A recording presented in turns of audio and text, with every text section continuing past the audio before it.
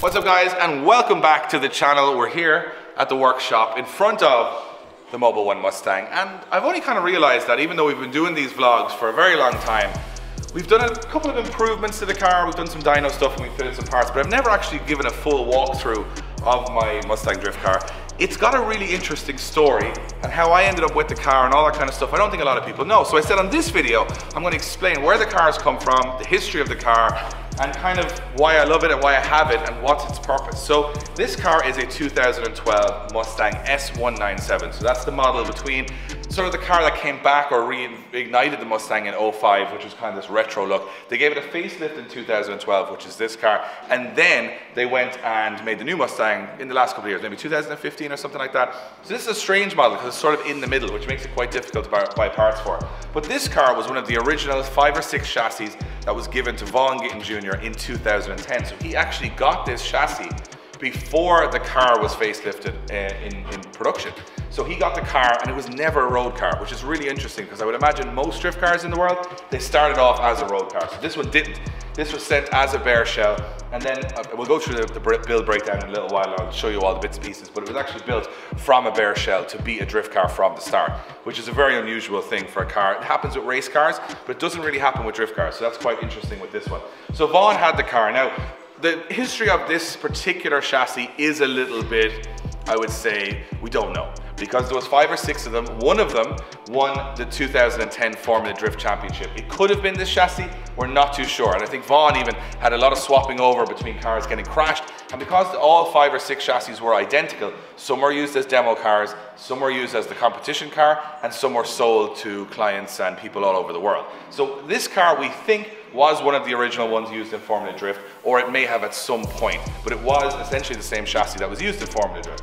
Then the car was going to Europe, doing demonstrations, things like that. It actually did a really cool video where it had like a flame video that was on the Formula Drift channel quite a bit for Monster Energy. That was the car. That was like, this is the actual chassis that was used in that. We do know that. Then uh, Vaughn was in the Middle East doing a demonstration, met up with Danny Neville, who's one of the drivers in our championship, in the Emirates Drift Championship. And at the time, he was driving a Cobra Mustang, which was kind of the older version, more of a Pro-Am car, and he wanted to step things up. So he actually purchased this car from Vaughn. Now, at that time, it didn't have the extensive power it has now. It was still sort of on a demo setup, so it had a naturally aspirated 5 litre Boss 302 motor and a kind of a couple of bits. So at that point, the car went to compete in the Middle East. And then, coincidentally, our first event ever in the Middle East, which was Drift UAE back in the day, maybe five or six years ago, we went over there and we actually saw the car for the first time. So I saw the car, it was matte black at the time, loved the car. It was obviously, you know, I'm a big fan of Gittin Jr. and everything else that goes with that, and was a big fan of the, that car in Formula Drift.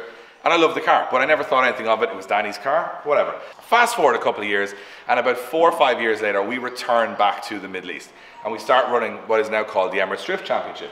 And at that point, the car was still there, but Danny had moved on to a different chassis. He was driving a 180SX, which he still drives today. So this car was sitting there, and we started talking, we started having a conversation. I sort of had a, an, an, interesting idea of bringing the car to Ireland, owning the car. It has a very significant history with me, which I kind of skip by, which is essentially that when I started watching drifting, the first time I ever commentated, which was in 2010, I never understood how competition worked and I actually turned on a Formula Drift event that was on the weekend before, and this was the actual car that won that event. So the first time I saw a full competition from start to finish, understood it, it was Vaughn in this car. So obviously from my drift career, quite a significant car. So basically then we decided we'd take the car back to Ireland. Now we did a little bit of a part exchange on my old SR20 Corolla, which ended up going to Sultan Al Qasimi, which is now being rebuilt again. But a lot of different cars went a lot of different ways, and then Sultan's car went to Danny, and Danny's car came to me, and it was very confusing. But in the end, we shipped the car from the Middle East. It was put on a container in Abu Dhabi, and it arrived in Dublin port. And when it arrived,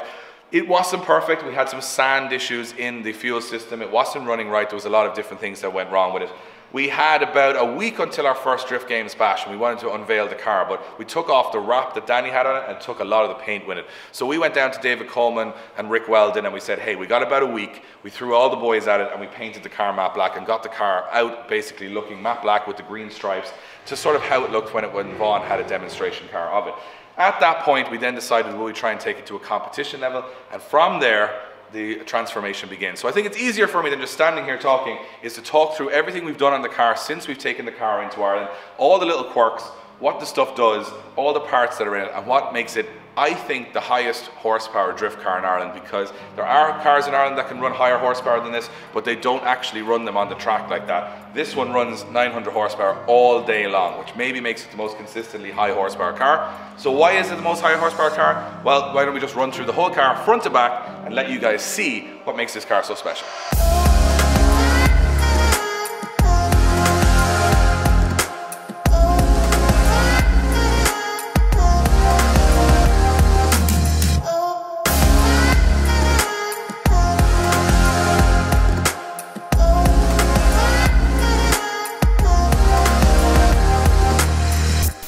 So what makes 900 horsepower? Well, the engine in this is a Boss 302, which if you're not like me, big up on your America V8s. You're not too sure what it is, but I've actually done a bit of research into it. So essentially the normal Mustang comes with a GT engine, which is about 412 horsepower. And then they made a special edition of that engine called the Boss 302 or the Roadrunner. And this engine type is actually named the Coyote engine. So they still make the Coyote engine uh, today, but it's the type of way that this V8 delivers its power is a little bit different than an LS in the way that its pistons uh, work. But basically this car would have had 412 horsepower as the standard GT. They then made a special edition engine to get more power for it. So as standard in the Boss 302, which this uh, engine is from, it has a forged engine, it has uprated camshafts, it has CNC ported heads, so it's essentially built for more power. And then the car made about 444 horsepower. So when the car with a tune would probably get close to 500 horsepower. And that's how the car was when Danny uh, originally got it from Vaughn Jr. But Danny then wanted a little bit more power for it, so he then put on this Vortech supercharger, and it's a huge supercharger on this car.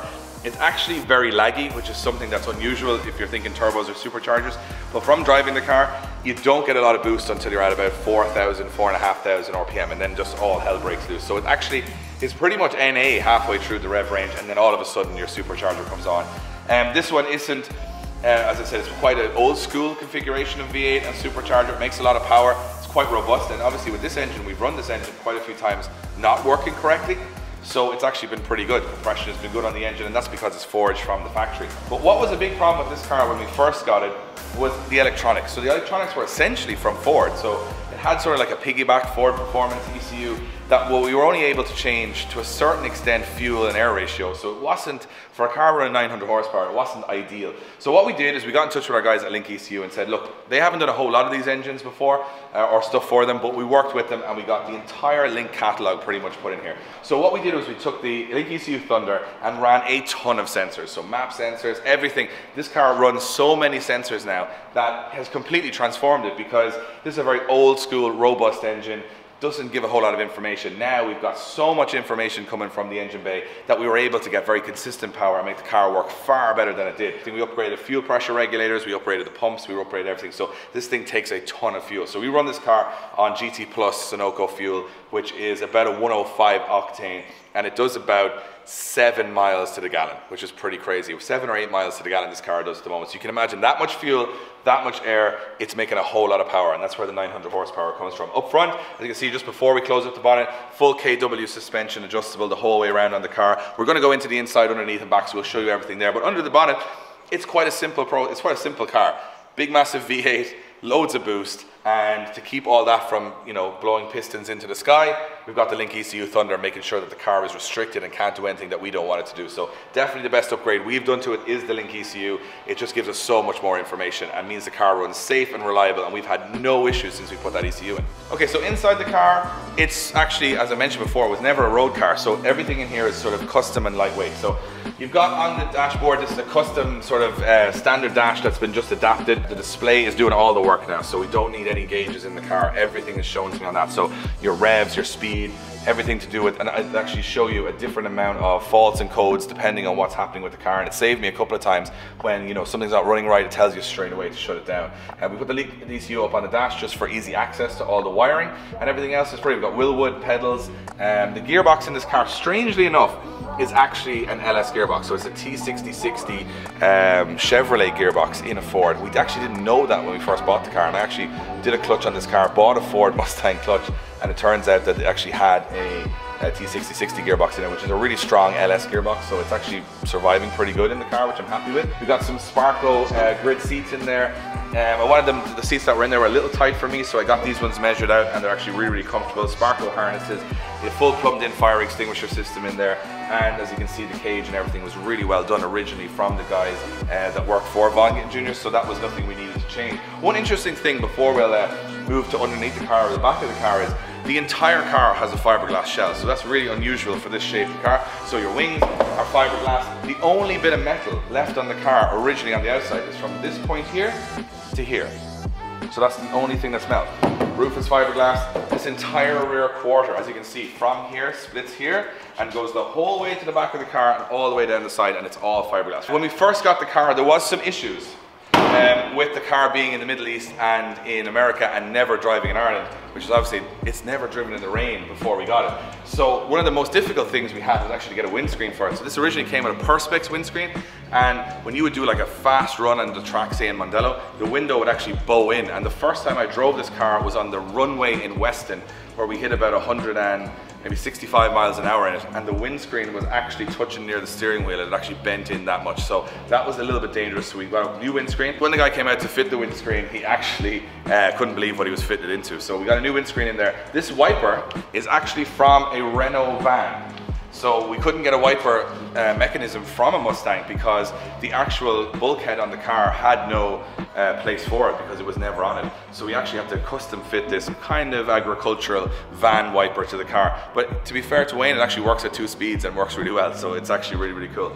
The car actually came with no windows at all. And these doors are obviously fiberglass, so it's quite difficult to fit them. So the guys in Group D, uh, Darren McNamara, he actually created this frame for the window. As you can see, a really tidy job. To give the, the problem is a lot of windscreens, if you look at a 180, they're not curved this much. You can see how curved this window is and that's what makes it really difficult to make a custom window for it because it's actually a really curved uh, piece of glass that's originally there so that was a bit of a pain we had to build a full frame all the way down through the door to allow it have enough strength to curve all that kind of stuff so it works pretty good and the car is pretty lightweight. I mean, it's a heavy chassis and a heavy engine, so the more you can do to take away a lot of the weight is kind of the best thing. Uh, in terms of styling on the car, these are RTR wheels. The center caps are long lost. I'm not sure where they are. Um, these were originally arrived to us as Illuminous Green because Danny was sponsored by Monster Energy. We just painted them black just for the time being. We might do a wheel change down the line. Front lip on the car is RTR. All the body kit stuff is RTR. And I just changed to a more modern style grille. The new Mustangs have these illuminated lights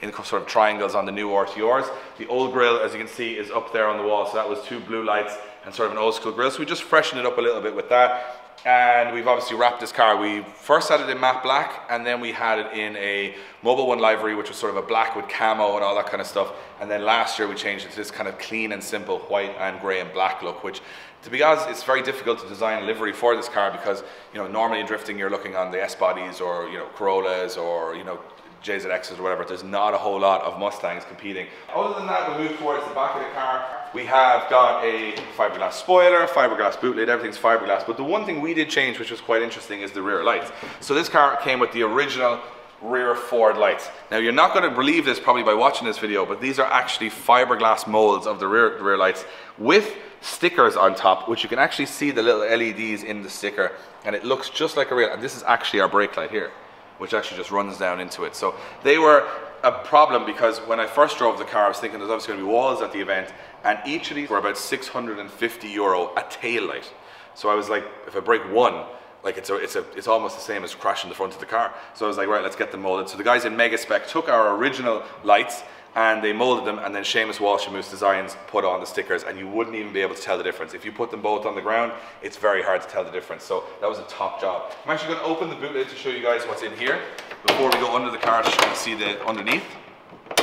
I'm sorry to interrupt this video. I want to give a big shout out to our partners here at Drift Games Link ECU who've been supporting us for many years and also supporting the best drifters and racers in the world with their amazing range of products. If you want to find out the entire range of products they have and how they can improve the performance of your car, check out linkecu.com. As you can see, it's all braced here at the back. Um, as you can see, it's braced out. A couple of little things we added to brace it just out to, the, to make it a little bit more, uh, not as flimsy on the back. It hasn't hit too many walls, but as you can see, there's not much in the back. So if it does, it's all fiberglass. It should just all pop in and pop out. So it's pretty sweet there. very functional race battery, um, which is which is a bit of a pain to keep charging all the time because we can't trickle charge it. But other than that, it's pretty simple in the back. There's nothing too dramatic. Underneath the car though, that's kind of where it's more interesting. Okay, so we're underneath the Mobil 1 Mustang now, and I was mentioning this is probably the weakest part of the car. So the car doesn't run independent rear suspension, it runs a live rear axle, which makes it difficult to adjust and also makes it difficult to drive. It's a very old school, robust way of getting the power down. Now it is reliable, but that said, you know, it's not the easiest thing in the world. Both wheels almost move at the same time. Um, now, there has been some adjustments made to different suspension geometry here, as you can see at ASD when Vaughn Junior had it. So there is some adjustability in there. One thing that we had to change, which we actually broke, was the differential. So this is a really, really like high rated Ford Performance differential. It's got carbon discs in it. Um, but I actually smashed it to pieces. I was going to do a burnout in the burnout box at an Irish event and the diff just completely let go. So we ended up putting in a drag diff uh, crown wheel and pin, so it's got basically rated for about 1200 horsepower in the car now. So if that breaks, and even Vaughn messaged me saying he never broke one, so I broke one. So he said if you break that one, just stop drifting, just give up because I don't know what you're doing to the car. So we've got this one, we, we assume it'll be pretty reliable. As you can see with the live axle, the half shafts and stuff are all internal, so it's it's a lot more reliable. It doesn't give us any trouble, but it does mean that you lose a lot of uh, does mean that you lose a lot of adjustability in the back of the car. As you can see, it's got you know fancy pan rods and uh, it's also got some adjustable. Um, anti-roll bars and things like that and the KW suspension as you can see uh, up there is the best of the best. So you can adjust it quite well. It's not seized. It works pretty good. It's got uh, huge Wilwood brakes all the way around front and back so it does stop pretty good even though it's quite a heavy car. Another big thing we changed was obviously in Ireland we've got lots of noise regulations um, which I was enforcing for a lot of the time so I couldn't be breaking them and the car was running like originally 125 decibels or something like that. It was ridiculous.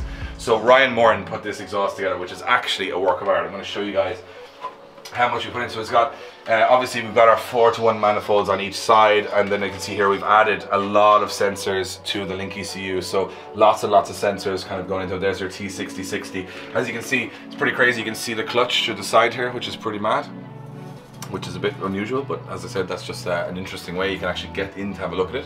Um, and on here, you can see that he's actually left some of the flexi pipes in here so we don't get any cracking. And then what we've done is we've run a full exhaust system to the back, which is really, really nice. As you can see here, it's joined in the middle. It's like a work of art. The guys at, uh, at Vital Fabrication have done an amazing job. And we ran it up over the axle, which was just to keep it a bit of clearance, and then into these two huge back boxes. So the car now runs about 103, 104, well, it's definitely under 105. We've tested a few times in Mondello Park and it's fine. So it passes the noise regulations. And that's really important too because you don't want to go to a racetrack and not be able to get on the track. One of the things that is a big issue on this car is lock on the front. As you can see, you know, this is 2010 when this car was put together and as you can see, it's not the fanciest setup. I mean, this car doesn't get anywhere near the lock of a you know, like a Wisefab or any of those kits or anything like that. It's literally kind of just cut knuckles and to be honest, the lock is a big problem. The other thing is it has bad Ackerman settings because it's not really, the two wheels aren't flowing at the same time. So I've had real trouble handling the car with that. So that's definitely something we want to look at in the future. But as you can see, that is the reason. Not very fancy suspension geometry on this car, very old school. And I think at the moment it's kind of holding the car back in terms of its competitiveness. So yeah, we've got a little bit of gold wrap here and there around the place just to protect the, uh, the body from the heat of the exhaust. And other than that, it's pretty simple underneath.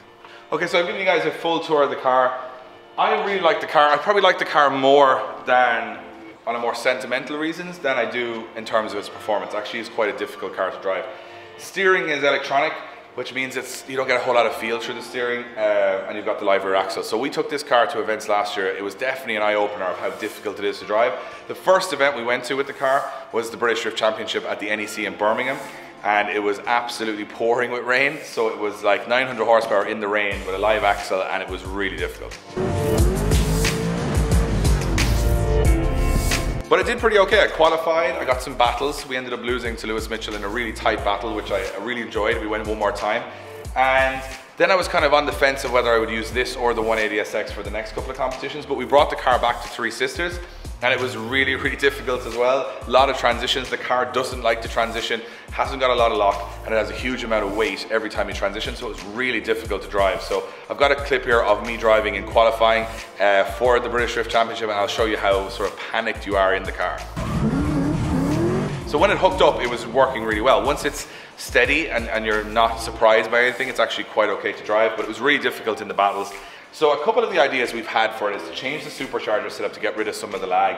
Um, that's something that we can do some fabrication on to maybe you know have it come in a little bit sooner, have the power delivery a little bit sooner. Another option, and you know, guys, if you're watching this video, I'd like some advice on this because I'm kind of two minds about it. I'm sure some of you guys watching this are far more technically minded than I am. But there's a couple of options we have. One is we can change the supercharger setup, keep the power at 900 and all that kind of stuff.